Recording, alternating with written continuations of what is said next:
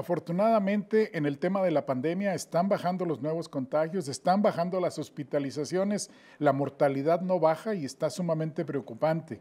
Llevamos en el mes de febrero, en los ocho días que han transcurrido, llevamos 185 fallecidos en Coahuila, 52 en Saltillo. ¿Por qué? ¿Por qué esta contradicción? ¿Por qué está muriendo mucha gente cuando son menos los contagios y son eh, menores las hospitalizaciones? Bueno, tenemos en la línea al doctor Lauro Cortés, director del Hospital Universitario, eh, pues para que nos ayude con todas estas preguntas y con los cuestionamientos y dudas que la gente nos ha hecho llegar a nuestro centro de mensajes. Doctor, buenos días, ¿cómo amanece usted?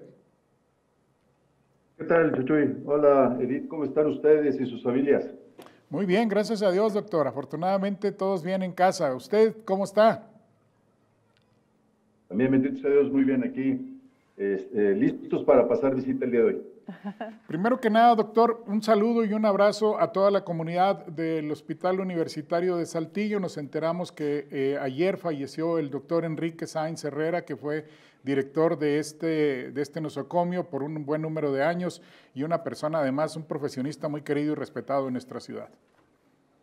Sí, una persona entrañable, un hombre muy dedicado, un hombre muy culto, eh, un extraordinario amigo, una persona con un eh, envidiable sentido del humor. Lo vamos a extrañar mucho, pero también se quedó en cada uno de nosotros, quienes tuvimos la fortuna de conocerlo. Claro. Doctor, pues cuéntenos, eh, ¿por qué seguimos viendo este, estos indicadores con una baja en los contagios, pero con defunciones que siguen a la alza? Bueno, eh, como hemos platicado en ocasiones anteriores, nosotros no estamos exentos de lo que ha estado pasando a nivel internacional. Ustedes recordarán que a principios de diciembre, cuando nos enteramos de esta variante Omicron allá en Sudáfrica, eh, pues se detonaron las alarmas en todo el mundo.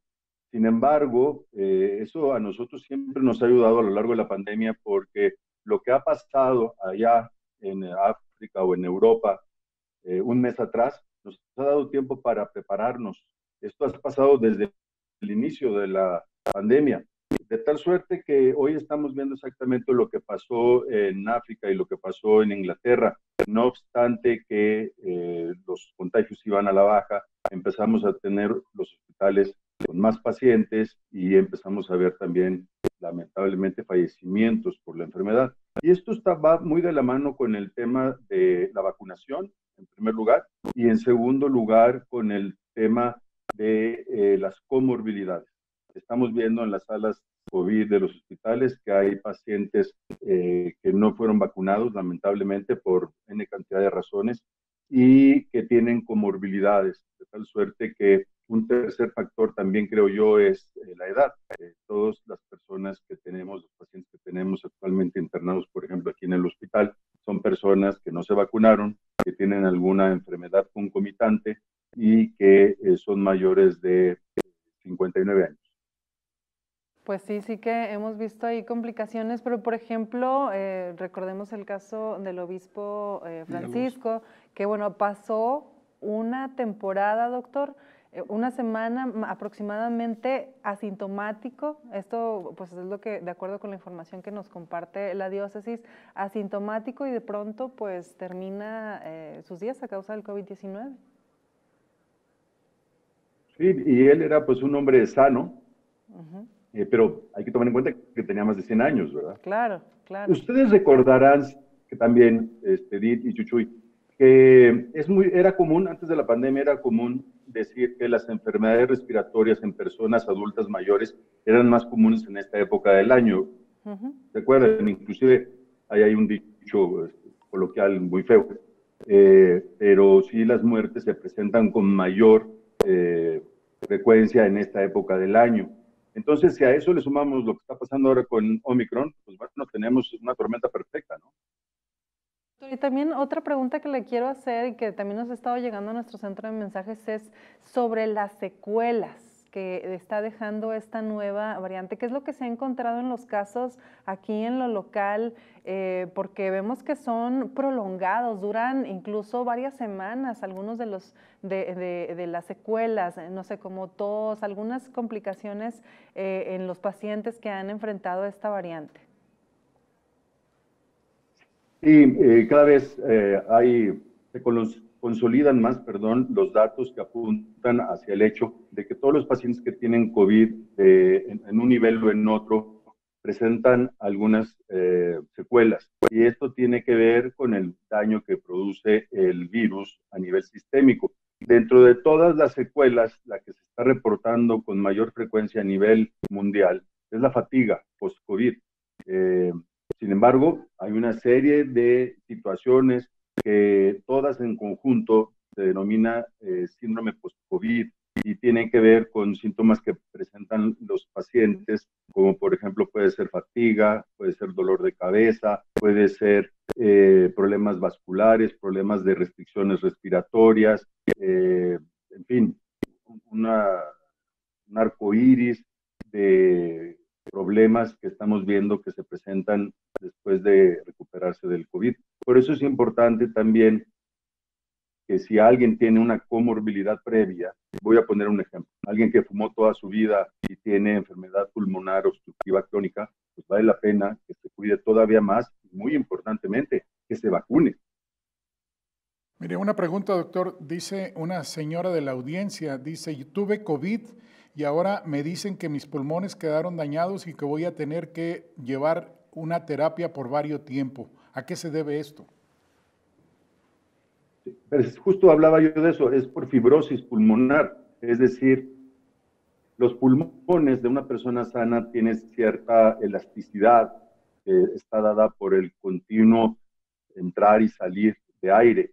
Esta flexibilidad, esta elasticidad se pierde con el paso de los años, se pierde cuando una persona fuma, se pierde cuando una persona está expuesta a ciertos elementos químicos eh, por cuestiones laborales, por ejemplo. Y en el caso del COVID, el virus inflama tanto el área de los alveolos pulmonares que se producen una especie de cicatrices, si me permiten la expresión, unas cicatrices en el interior de los pulmones, a la cual nosotros le llamamos fibrosis pulmonar, y entonces la elasticidad ya no es la misma, eh, la flexibilidad ya no es la misma. Por eso los pacientes, ustedes recordarán que nosotros aquí en el hospital, eh, alrededor de, si mal no recuerdo, octubre del año pasado, hicimos una campaña de evaluación de pacientes que tenían fibrosis pulmonar después de tener COVID para ver cuál es la estrategia más adecuada para darles rehabilitación a esos pacientes. Eh, se puede recuperar la capacidad respiratoria, no en el 100%, pero con constancia y con una rehabilitación eh, bien diseñada se pueden lograr buenos resultados. Hay que tener paciencia. Doctor, tenemos aquí más preguntas de nuestros televidentes y nos dicen, ¿una persona fallecida por COVID puede contagiar a la gente incluso en su funeral? Es importante saberlo porque eh, nos dice, es muy ingrato que mueren amigos y familiares, seres queridos y la gente no va por miedo a contagiarse. Eh, en esa pregunta es interesante porque la persona afinada no contagia por sí misma, pero sí puede haber un contagio dentro de la sala de velación porque esté cerrada el área, porque no esté bien ventilada y alguien de los que esté ahí traiga COVID. Entonces, lo importante, conforme ha pasado la pandemia, es que nos hemos dado cuenta que la posibilidad de contagiarse de COVID por un elemento físico por una pluma, por unos papeles, eh, es prácticamente nula. El tema es el aire que respiramos. Entonces, eh, no es que en un velorio el fallecido pueda contagiar a los que van, sino eh, la alta concentración de gente en un espacio cerrado, ahora que está haciendo frío, pues con mayor razón. Entonces, ese es el problema.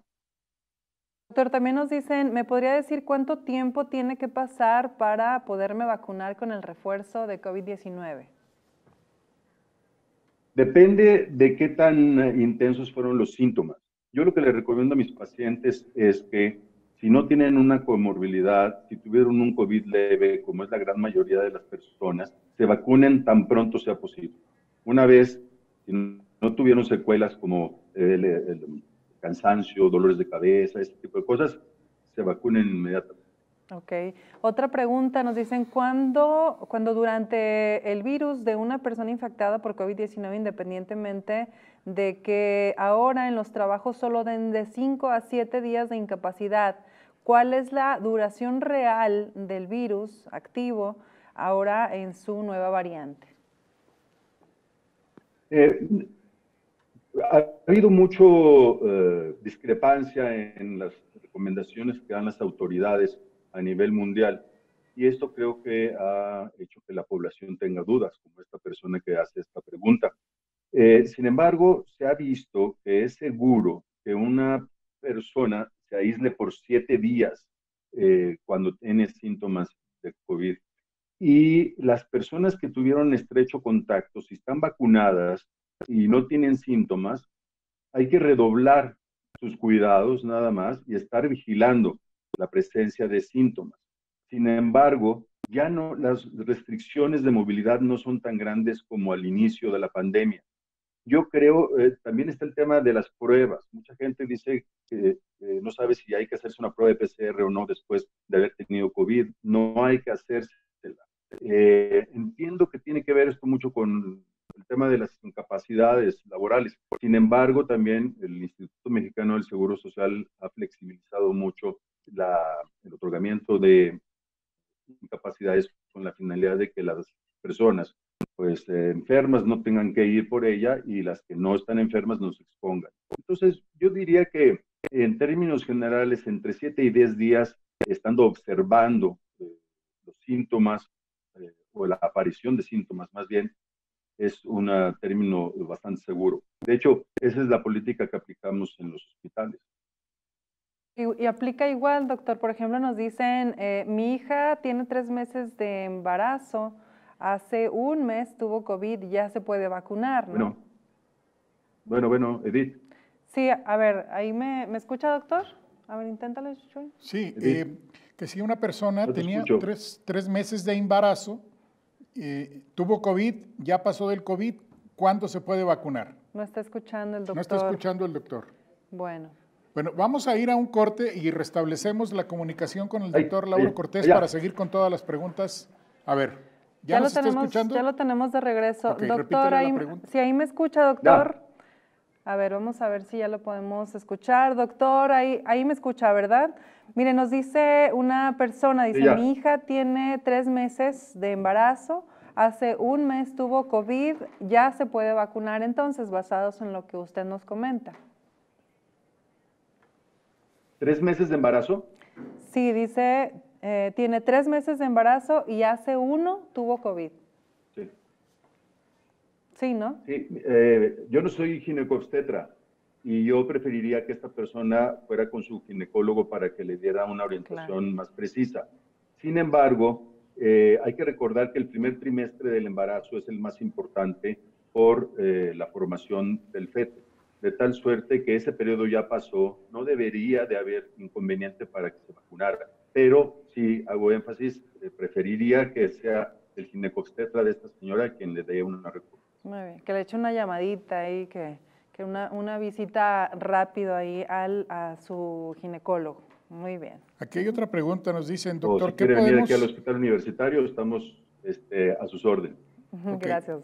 Otra pregunta nos dicen, ¿qué podemos hacer si nuestra casa es muy chica y una persona resultó positiva de COVID ¿Qué podemos hacer para evitar contagiar a todas las demás? Ya salió del COVID, pero ¿qué podemos hacer?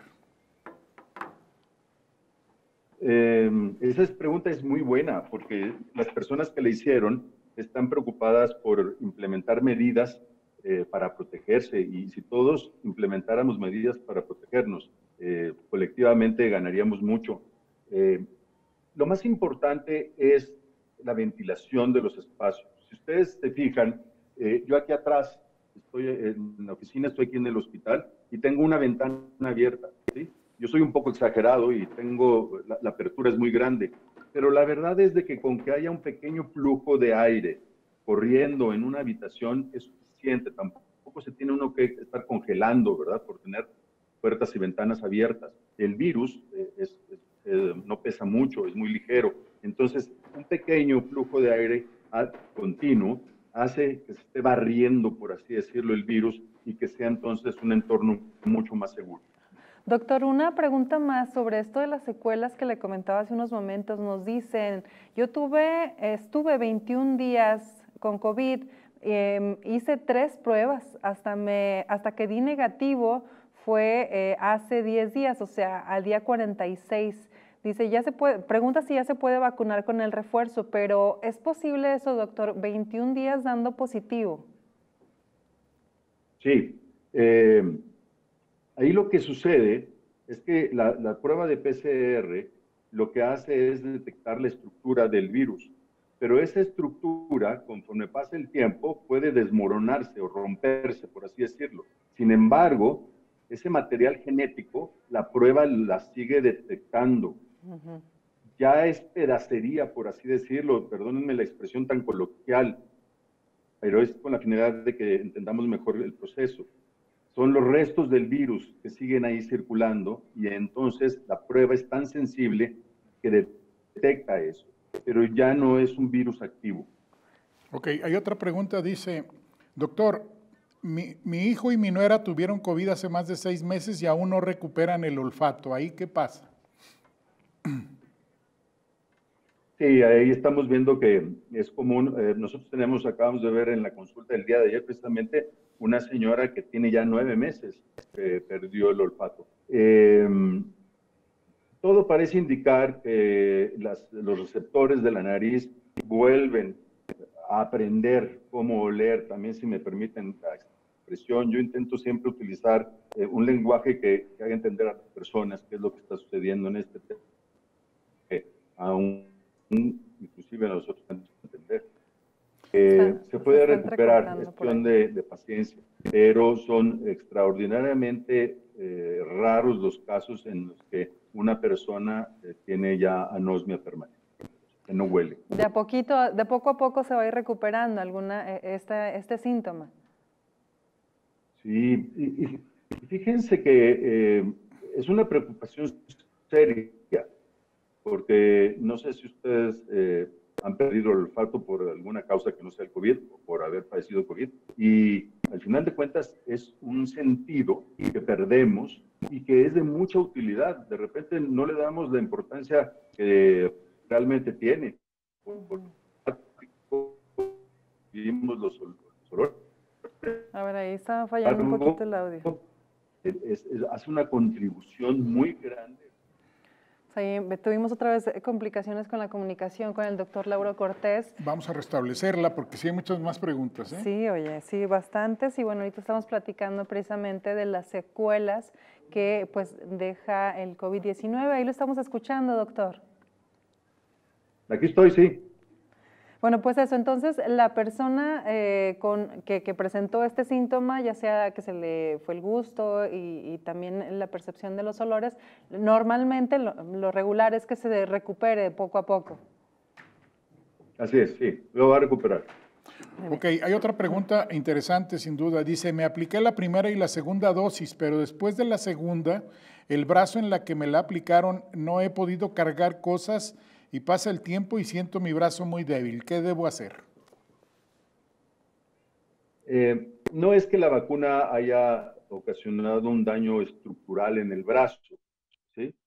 Sin embargo, creo que una valoración específica del eh, caso valdría la pena tener con la finalidad, nosotros eh, tenemos que reportar todas aquellas situaciones relacionadas con las vacunas que se presenten muy esporádicamente, pero que los pacientes estén quejando de haberlas padecido, de tal suerte que en el caso de esta persona, le, confirmo, no debe de haber una, un motivo estructural serio para que esto le esté sucediendo, sin embargo, creo que vale la pena eh, revisarla, hacer algunos estudios y documentar a la plataforma de reacciones adversas de la vacuna, qué es lo que está sucediendo con ella. Nos están preguntando también eh, si a los jóvenes que tienen, que cursan con el síndrome eh, llamado Guillain-Barré, pueden vacunarse. Nos dice que su hijo tiene esta enfermedad y por eso le interesa saber si se puede vacunar, si no va a tener alguna complicación. Ese es un caso que también hay que valorar específicamente porque si la vacuna pudiera tener una repercusión en pacientes con Guillain-Barré. Entonces, eh, ahí creo que valdría la pena, sería más profesional, una evaluación de eh, qué edad tiene el muchacho, eh, qué tan fuerte fue el Guillain-Barré, si hubo necesidad o no de intubarlo, en fin, una serie de cuestionamientos ya muy particulares. Otra pregunta muy interesante dice, ¿me podrían decir si es normal que me quedaron secuelas de COVID, me, me quedaron dolores de cabeza y se me olvidan las cosas? ¿Qué puedo hacer? Sí, comentábamos hace un momento, la primera eh, síntoma que presentan los pacientes después del COVID es la fatiga y el segundo es la cefalea, de cabeza. Y en un tercer lugar está esto que la gente llama neblina mental, ¿sí? Esta situación en la que se olvidan las cosas, eh, no se recuerdan nombres, eventos, circunstancias aledañas.